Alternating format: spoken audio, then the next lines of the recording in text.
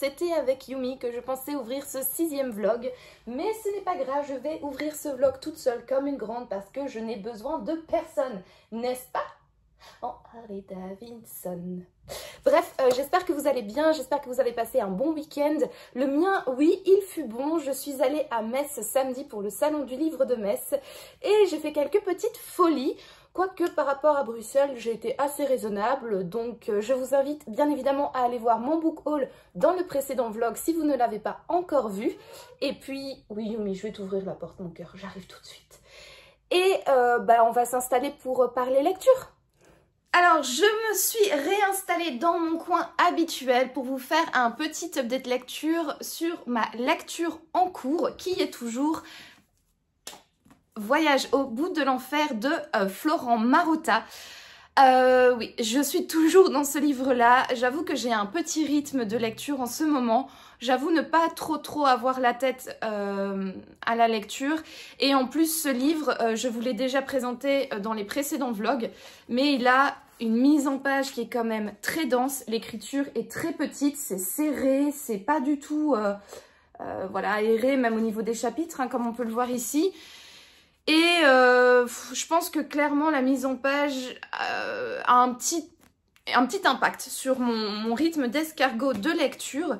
D'autant plus qu'ici, donc j'ai bien avancé dans le livre, j'en suis à la page 306 sur 485. Donc voilà, il me...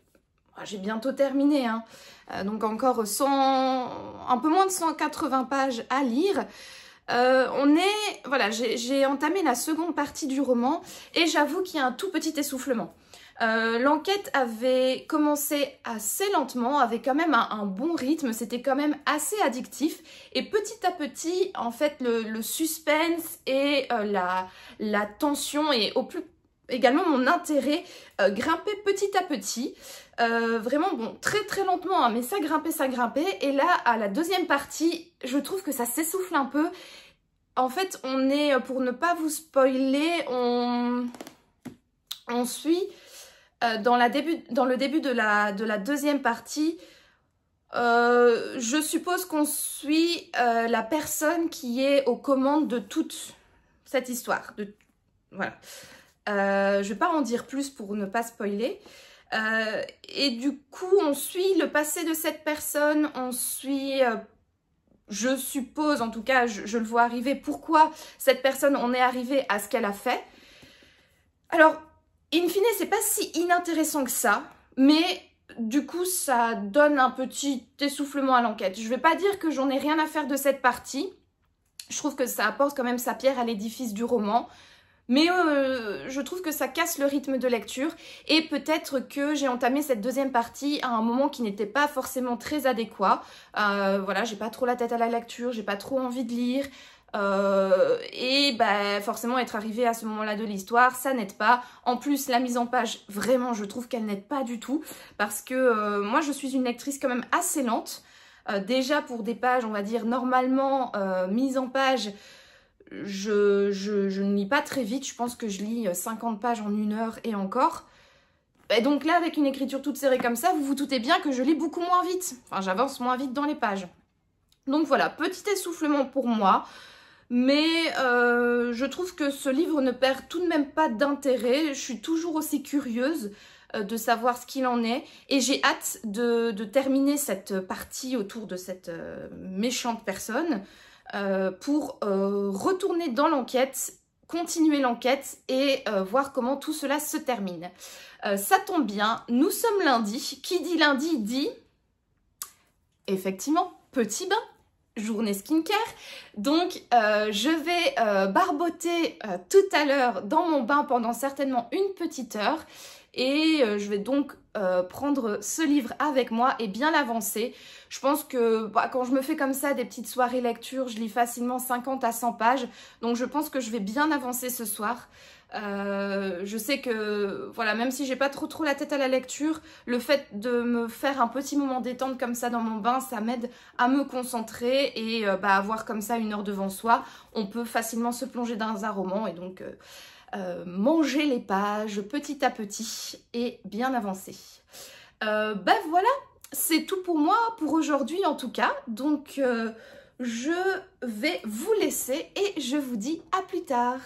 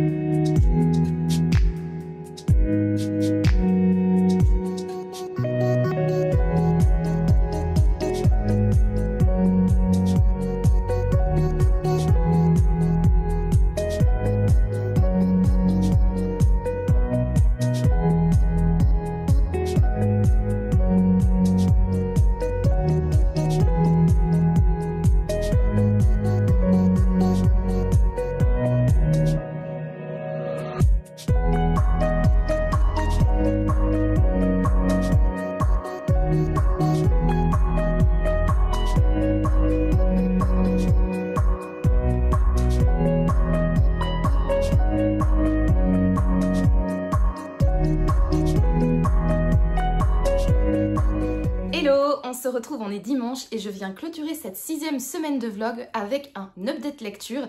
Alors euh, je vous ai pas repris plus tôt dans la semaine parce que je n'avais pas nécessairement euh, de choses intéressantes à vous dire et j'aurais pu reprendre la caméra euh, vendredi ou samedi mais j'ai préféré la prendre aujourd'hui ainsi je vous faisais un update lecture tout d'un bloc. C'est beaucoup plus facile pour le montage.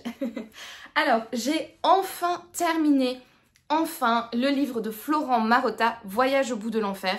Euh, je l'ai fait traîner presque sur deux semaines et j'avoue, je déteste ça. Je n'aime pas faire euh, lire un livre sur autant de temps. Euh, mais bon, voilà, comme je l'avais dit dans les précédents rushs ou dans la précédente vidéo, j'avais pas nécessairement la tête à la lecture ces derniers temps. Donc, ceci explique également cela. Quoi qu'il en soit, j'ai vraiment aimé cette lecture. C'était vraiment un bon roman.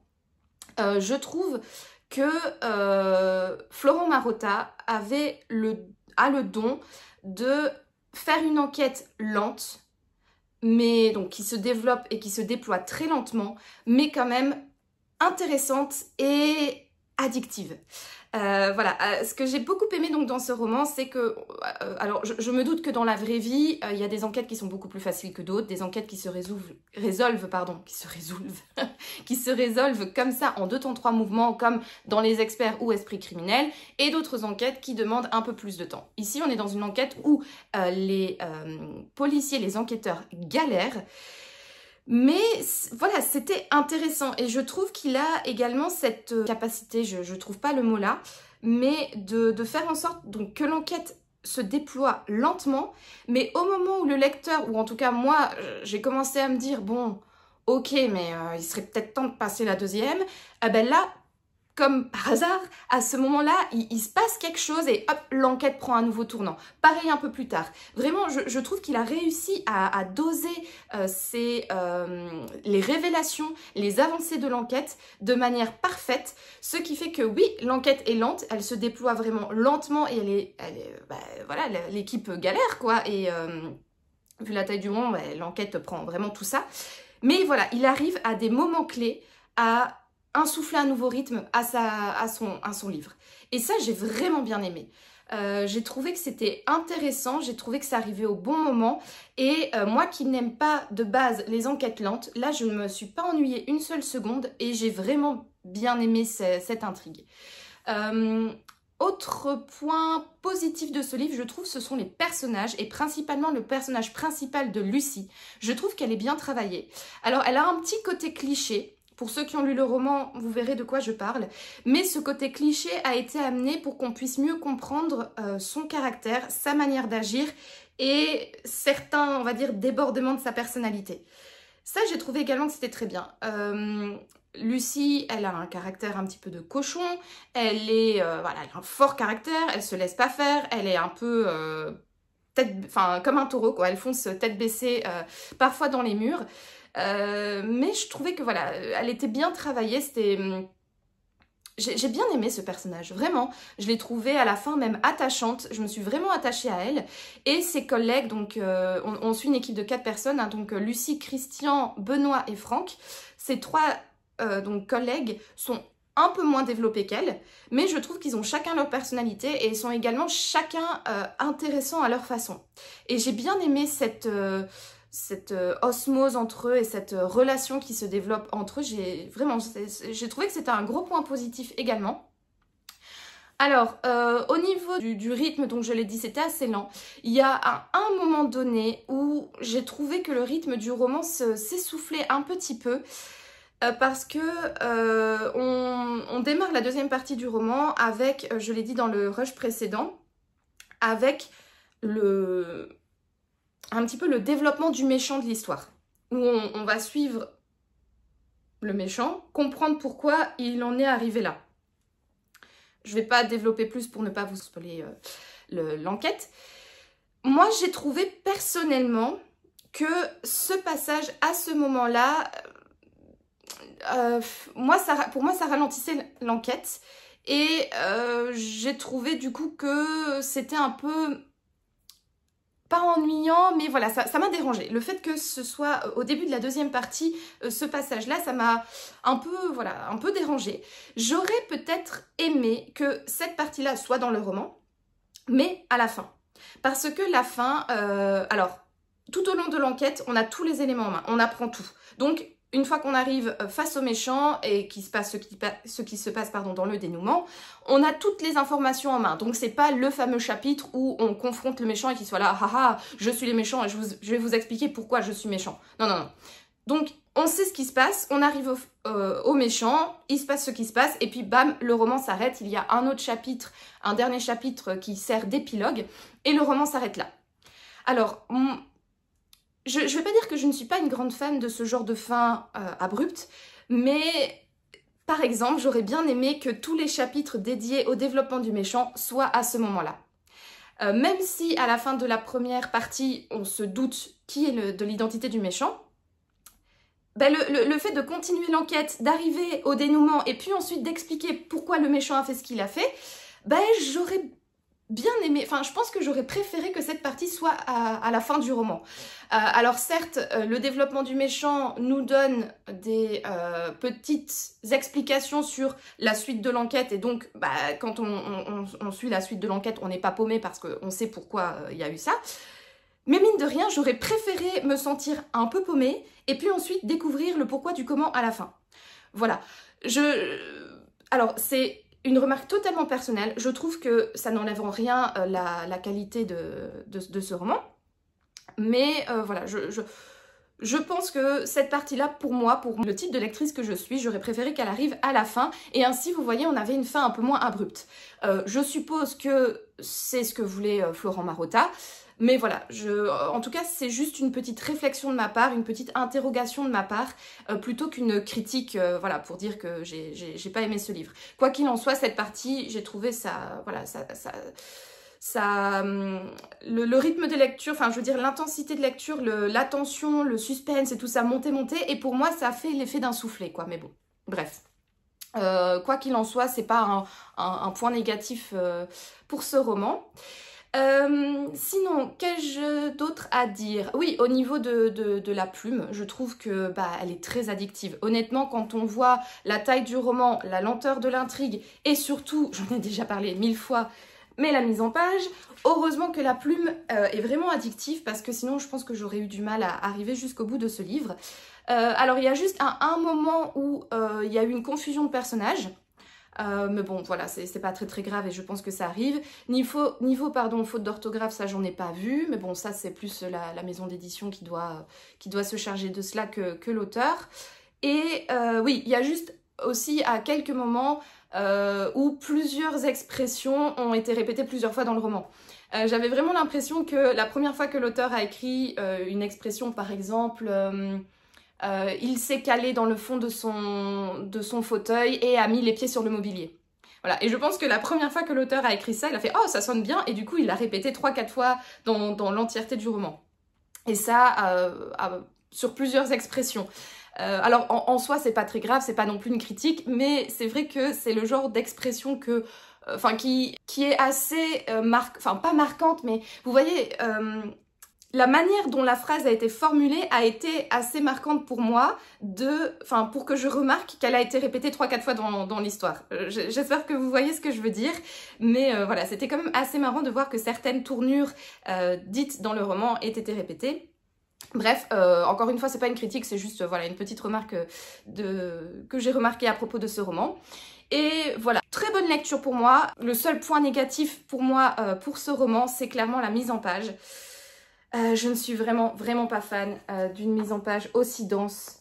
Euh, voilà, où il n'y a pas beaucoup de, de marge là, pas beaucoup de marge non plus à l'intérieur, où les chapitres se s'enchaînent, voilà, sans, sans aération, quoi. Vraiment, je, je, je, suis pas très très fan. Après, je peux comprendre pourquoi le roman est ainsi mis en page.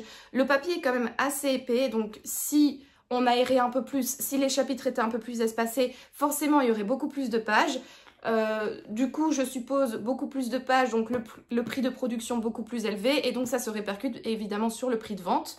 C'est sans doute pour ça euh, que la mise en page est aussi serrée. Enfin, je, ne sais rien, je, enfin, je, n'en sais rien, pardon, mais je, voilà, j'essaye de réfléchir pour ne pas juste critiquer et voilà, ne pas avoir de, de réflexion derrière. Mais même si c'est une excuse que je trouve totalement valable. Moi, ça m'a quand même euh, un peu dérangé parfois. Parce que euh, c'est très serré, du coup on n'avance pas vite dans les pages et ça... J'ai déjà traîné le bouquin et le fait de lire lentement, ça donnait encore plus l'impression de le traîner. Je sais pas si vous voyez ce que je veux dire, mais... Euh, enfin voilà, c'est si vraiment il y avait un point négatif à dire sur ce roman, ce serait la mise en page. En plus, il y a parfois des, sauts, de ligne. J'ai pas compris quoi, des, parties de phrases qui sont mises à la ligne alors qu'il n'y a aucune raison. Enfin, je crois, je, je sais pas, mais euh, voilà. Euh, bref, euh, mise en page, mise à part, pour moi j'ai trouvé que c'était un bon roman. C'était vraiment une belle surprise et euh, je pense que si un jour je recroise le chemin euh, de Florent Marotta en librairie, je vais vraiment avoir mon œil qui va être attiré par le livre, lire le résumé et sans doute, me connaissant, acheter le bouquin. Une, vraiment une bonne lecture que je vous recommande. Voilà.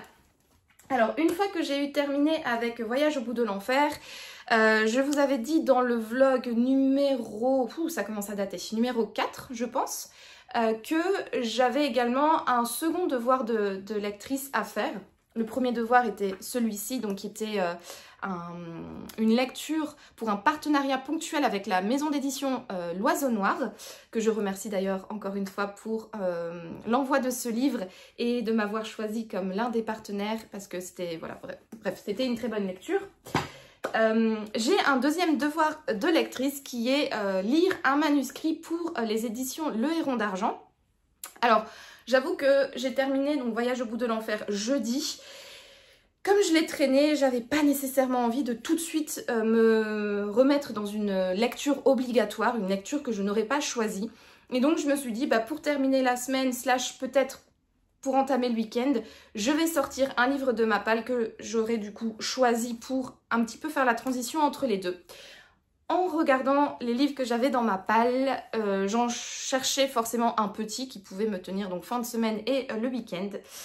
Et euh, alors, je ne sais pas si vous me suivez sur Instagram, mais euh, si ce n'est pas le cas, je vous invite à aller vous abonner à mon compte.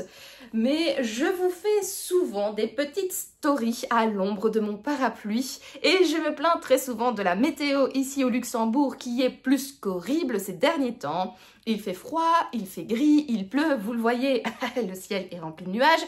Et ça a l'air d'être clair là dans le fond, mais euh, c'est mon iPhone qui, euh, éclaircit le tout, hein, parce que quand on regarde, non, il fait dégueulasse. Bref, donc j'avais envie euh, d'un peu de soleil dans ma vie. Et quoi de mieux pour avoir l'impression d'être en vacances, l'impression d'être en Italie, de vivre la Dolce Vita, que de sortir un livre de Serena Giuliano. Euh, alors, je, vous avais parlé de Serena Giuliano à mon retour euh, de la foire du livre de Bruxelles. Je lui avais pris son dernier roman sorti en format poche, c'est Un coup de soleil. Là, c'est l'avant-dernier sorti au format poche, donc Sala Palquettiamo. Et, ah, comment dire, j'ai adoré ce roman. On est clairement, je pense, sur un... Non, même pas, on est clairement sur un coup de cœur. Euh, j'ai adoré cette histoire. J'ai adoré euh, aller en compagnie de Alba et Gabriel à Procida, cette petite île au large de Naples. Ah, c'est vraiment les livres de Serena Giuliano, c'est toujours une bouffée de fraîcheur, c'est toujours un, ticket euh, assuré pour passer un bon moment depuis notre lit, un bon moment au soleil depuis notre, notre appartement, maison, lit, peu importe, hamac, Bref, vous m'aurez compris, euh, c'est un, ticket direct pour l'Italie, quoi. Euh, donc ici dans ce roman, on suit, donc je l'ai dit, Alba et euh, Gabriel. donc Alba a une maison à Procida. Elle vient d'avoir un petit bébé avec Valentin, son mari, et ils partent donc pour le un mois en vacances dans cette maison à Procida. Et Alba a invité Nino, euh, son, un, ami à, elle et à son mari qui vient accompagner de sa copine Gabrielle. Et donc on va suivre une tranche de vie de ses vacances, le séjour d'Alba et de, de, Gabrielle, donc de leur point de vue. On alterne entre un chapitre du point de vue d'Alba et un chapitre du point de vue de Gabrielle. Et j'ai beaucoup aimé parce que les, les thématiques abordées dans ce roman ont énormément résonné en moi. J'ai trouvé que les personnages étaient attachants, euh, plein de faiblesses et plein d'interrogations, mais euh, suite au contact l'une de l'autre et d'autres personnages de, ce roman, elles arrivent à se à répondre à leurs questions, à reprendre confiance en elles sur certains points et euh, arriver à la fin du roman à être changées ou en tout cas avoir eu certaines réponses à des interrogations et avoir leur vie d'une nouvelle façon. On va dire ça comme ça. Alors les thématiques abordées ici, c'est deux thématiques principalement qui m'ont particulièrement touchée, notamment la question euh, du, couple et euh, la... Donc Là, on suit, je l'ai dit, Alba qui vient d'avoir un enfant. Donc, bien évidemment, la venue d'un enfant, ça chamboule un peu tout dans, le couple. Ça remet un petit peu la dynamique des deux personnes en question. Euh, là, Alba s'interroge énormément sur le fait que maintenant, bah, son mari ne la regarde plus forcément comme une femme, mais la regarde principalement comme une mère. Et donc, elle a un peu ce sentiment de euh, bah, on a perdu quelque chose dans notre couple. Et là, je trouve que toutes les réflexions qu'elle a autour de de ça, ça m'a particulièrement touchée et notamment l'une des réflexions de Rosa, je pense qu'elle s'appelle Rosa. Attendez, je vais essayer de trouver le passage rapidement. Euh... Ouais, c'est ça. Euh, Rosa, exactement. Alors, Rosa, c'est euh, une voisine d'Alba. Enfin bref, c'est un des personnages du roman. Et euh, donc, Alba est en interrogation par rapport à son couple, par rapport à, la, sa dynamique de couple, quoi. Et euh, à un moment, Rosa lui fait une réflexion et cette réflexion, elle a, ça a énormément, ça m'a mis les larmes aux yeux, ça a énormément résonné en moi. Je vais vous lire le passage en question. Alors, euh, C'est quoi ton secret pour être avec Nando depuis si longtemps, Rosa? L'amour, ma belle. Ça n'a pas été dur après la naissance de Giovanni? Bien sûr, et pas seulement à ce moment-là. C'est dur souvent, tu sais. Encore maintenant.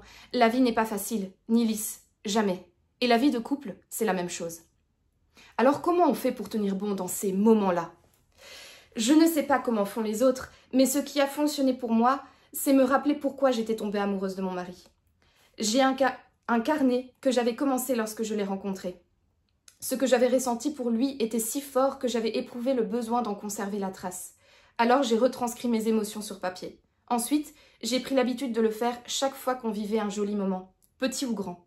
J'ai des dizaines d'années d'archives, de petites phrases, de petites attentions ou de grandes déclarations. J'ai consigné les cadeaux inattendus, les dîners réconfortants, les belles nuits d'amour. Je ne note que le positif, car c'est le plus difficile à se remémorer. On a tendance à être marqué par ce qui ne va pas, par les souffrances, par l'agacement, plutôt que de prendre le temps d'apprécier les moments où tout va bien. Je suis convaincue que ce carnet a sauvé mon couple à plusieurs reprises. Je ne te dis pas qu'il est miraculeux, juste qu'il me permet de relativiser les mauvaises passes. Bien entendu, lorsqu'il y a un problème, il faut le régler à deux. Il faut en discuter et trouver des solutions ensemble. Si on a envie de continuer à écrire les beaux moments, il faut d'abord s'unir pour surmonter les mauvais. Voilà, je trouve que ce, passage résume bien un peu toutes euh, les interrogations qu'il y a dans ce livre et pourquoi cette thématique a résonné en moi. C'est vrai que je trouve que dans, à certains moments, on a tendance à noircir un peu le tableau, à ne voir que le négatif. Quand on est un peu, voilà, un peu dans un moment, euh, un bas de moment, on a un peu tendance à tout remettre en question, à dire que notre vie c'est de la merde et à ne pas voir en fait que derrière, il y a, derrière le vernis, il y a de jolies couleurs. J'aime bien souvent prendre un petit peu cette métaphore. Euh, vous allez voir, parfois j'utilise souvent des métaphores un peu cheloues pour expliquer mes pensées, mais je pense souvent à la chapelle Sixtine. Alors je vous invite d'ailleurs à taper euh, chapelle Sixtine, euh, pardon, restauration avant-après pour voir vraiment de, quoi je parle. Mais quand on lit les, critiques d'art du XXe siècle à propos de la chapelle Sixtine, tout le monde écrivait que, Michel-Ange avait une palette très noire qu'il n'utilisait pas beaucoup de couleurs et qu'il utilisait du coup énormément de teintes de gris. Et puis ensuite, une fois que la, chapelle Sixtine a été restaurée, c'est dans les années 80 je pense, 80-90, enfin bref, la chapelle Sixtine a été restaurée à un moment. Et quand on a nettoyé euh, les, fresques, on a remarqué que ce noir venait des, bougies, des cierges qui étaient... Euh, qui était allumé dans la chapelle et qui avait fait un, dépôt sur les murs et qu'en réalité la palette de Michel-Ange n'avait rien de gris, de noir et de terne et de sombre et qu'en réalité il avait vraiment une palette colorée. Mais vraiment euh, si vous avez été voir la chapelle Sixtine vous savez que c'est rempli de couleurs. Mais je vous invite vraiment à aller voir le, avant-après de la restauration et en fait, je trouve que ce, ce qu'elle dit dans ce roman, c'est exactement ça. C'est, on a souvent tendance à, noircir les choses. Et en fait, quand on, quand on enlève ce nuage, quand on enlève un petit peu et qu'on voit vraiment la, réalité, donc euh, dans le cas de la chapelle Sixtine, on, voit euh, une fresque noircie, mais quand on, va vraiment euh, voir la réelle fresque qui existe, eh ben, en fait c'est plein de couleurs. Et la vie c'est comme ça. Et voilà, je trouve que c'est voilà, une thématique a énormément résonné en moi. Et le passage que je vous ai lu, je pense qu'il résume bien tout. également une autre thématique qui a, résonné en moi, c'est toujours par rapport à Alba. Bon, bien évidemment, là, on parle d'une mère qui a eu un enfant. Son enfant a trois mois, donc euh, voilà, c'est une femme qui essaye de réapprendre à aimer son corps, à, euh, de s'habituer également à ce nouveau corps qui a été traumatisé par une grossesse, euh, par un accouchement également. En plus, là, Alba a, une, eu une césarienne. Donc voilà, on, est, on suit vraiment cette femme qui a, qui a du mal avec ce nouveau corps de, de femme, euh, qui a eu un enfant, euh, qui a du mal avec ses kilos en trop, qui a, voilà, qui, a du mal à accepter son corps et également toutes les réflexions qu'il y a eu dans, ce roman autour de cette thématique, ça a beaucoup résonné en moi qui euh, vit une relation de haine avec mon corps. Donc voilà, donc un, chouette roman vraiment qui qui m'a mis la larme à l'œil, encore une fois. Je trouve que Serena Giuliano a toujours ce don d'avoir une plume très légère, teintée d'humour, mais quand même à certains moments d'avoir des réflexions et des phrases qui, qui résonne en nous, qui, nous porte parfois la, petite larme à l'œil. Et honnêtement, ça a été un coup de cœur pour moi. Et des trois livres que j'ai lus de l'autrice, donc j'ai lu Luna, Mama Maria et maintenant Salapa Yamo, c'est mon préféré. Et je pense que, vu les, commentaires que j'ai vus également sur Instagram, Euh, je pense que ce sera encore celui-là qui restera mon préféré, même si je lis les autres de l'autrice. Voilà, donc euh, pour cette lecture, euh, c'est un livre que j'ai dévoré également, donc je l'ai commencé jeudi, tout de suite après avoir terminé le Florent Marotta. Je l'ai un, un, petit peu lu vendredi, mais surtout dévoré samedi. Et du coup, je n'avais pas envie de commencer mon manuscrit non plus ce week-end. Je me suis dit que je pouvais attendre lundi pour lire le manuscrit et j'ai de nouveau sorti un petit livre de ma palle pour terminer le week-end. Et euh, mon, choix est tombé sur un Christian Jacques. Donc, Les enquêtes de Setna, le tome 1 la tombe maudite. Alors Christian Jacques, c'est un auteur que je n'ai jamais lu, mais dont j'ai énormément entendu parler. Je sais que plusieurs euh, personnes sur Instagram recommandaient euh, les enquêtes de Setna parce que ça a un côté un peu policier, mais version Égypte antique. alors au niveau de l'histoire, on, suit donc plusieurs personnages, dont Setna, qui est le deuxième fils de Ramsès II, qui est scribe. Scribe, pardon. Est-ce une bonne situation? À vous de me le dire dans les commentaires. Et euh, donc voilà, on suit sa vie euh, donc de formation de scribe. À côté, on a euh, Seket, qui est la fille d'un... Alors, la fille de je ne sais plus qui, mais en tout cas, c'est une guérisseuse. une guérisseuse qui a des dons apparemment exceptionnels. Et euh, voilà, alors euh, l'histoire commence avec le vol d'une euh, d'une jarre, d'une... comment ça s'appelle? D'un vase, voilà, d'un vase scellé.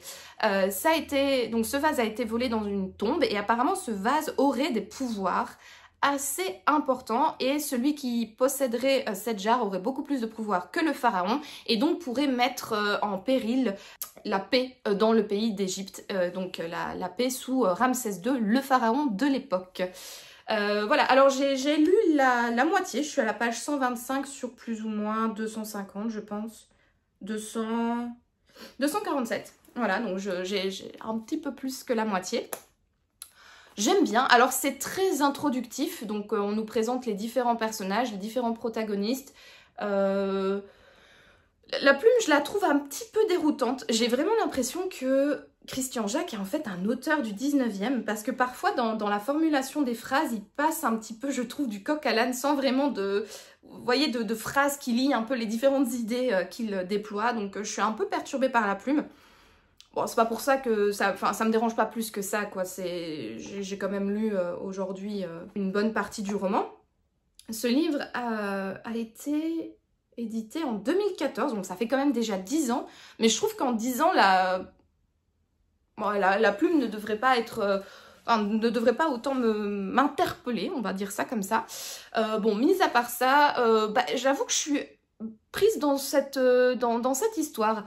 Pour l'instant, il n'y a pas vraiment de, il n'y a pas un côté très haletant, c'est pas un policier euh, classique, c'est pas un thriller, voilà, c'est, on, suit juste pour l'instant les personnages, euh, on, commence à apercevoir les liens qu'ils ont entre eux, euh, les, voilà, Pharaon a été mis on, a prévenu Pharaon que le vase avait été euh, volé. On a donc Pharaon commence un petit peu à s'inquiéter. Je me doute que du coup, à partir de maintenant, l'enquête va prendre sans doute un, nouveau tournant pour voir euh, qui a volé ce vase et voilà pourquoi, qu'est-ce qui va se passer, etc.